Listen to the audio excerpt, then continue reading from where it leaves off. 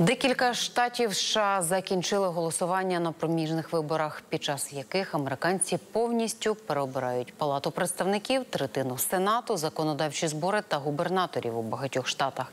Першим важливим результатом виборчої ночі стало переобрання губернатора Флориди Рона Десантіса на новий термін. Це свідчить про посилення позиції республіканців у цьому штаті, що вагався.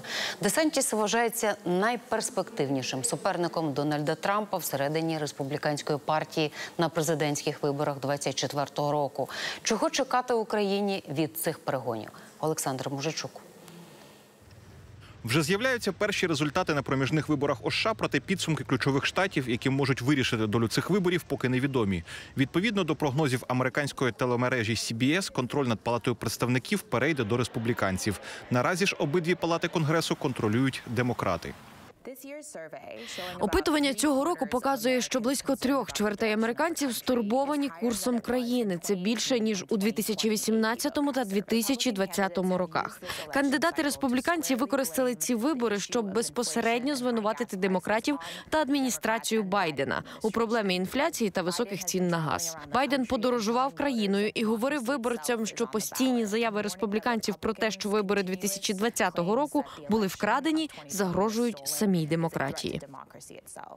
Щодо сенату, то попередні опитування показують приблизно рівні шанси і для демократів, і для республіканців. Не дочекавшись результатів, Дональд Трамп влаштував вечірку в своєму маєтку у Флориді і закликав до протестів своїх прихильників у власній соцмережі. Це був дуже захоплюючий вечір. У нас є кілька гарячих і важких перегонів. Ми за ними ретельно стежимо. Хочу привітати засоби масової інформації, які поширюють фальшиві новини. Ви повернулися сюди. Взагалі так багато людей сюди повернулися. Отже, на даний момент у республіканців приблизно 80 перемог та 3 поразки. Результати цих виборів неминуче вплинуть на наступні два роки президентства Байдена та протидію російській агресії в Україні. Днями конгресвумен із Джорджії Марджорі Тейлор Грін, республіканка і трампістка, заявила, що від республіканського конгресу Україна не отримує жодної копійки. Скептично до підтримки України ставиться і сам Трамп, який твердив, що невміла дипломатія Байдена змусили Путіна напасти на Україну. І такі погляди у республіканців не поодинокі.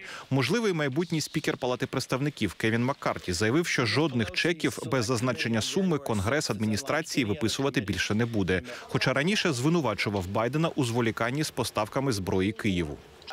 Я би забезпечив Україну мігами, коли ви спостерігаєте день за днем, як вбивають невинних людей, яким Росія пообіцяла припинення вогню. Україна хоче боронити себе. Пілоти вміють літати на мігах. Якщо Білий Дім збирається постачати їм джавеліни, нехай постачає і міги, нехай бороняться. Ось у чому різниця. Не всі республіканці поділяють позицію Трампа надати Україні потужнішу зброю, і, зокрема, далекобійні ракети Атакамс пропонує лідер республіканців у сенаті Міч МакКоннелл, який у травні приїздив до Києва. Також Україну відвідував і віце-президент в адміністрації Трампа, а тепер його опонент і можливий кандидат в президенти від республіканців Майк Пенс.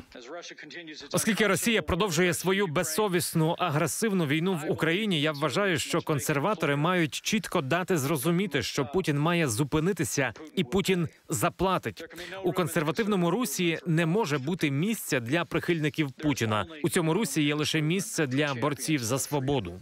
У будь-якому випадку очікується, що республіканська більшість ставитиметься до нових бюджетних асигнувань на військову та економічну допомогу Україні більш прискіпливо. Олександр Мужичук, програма Вікна СТБ. Єдині новини.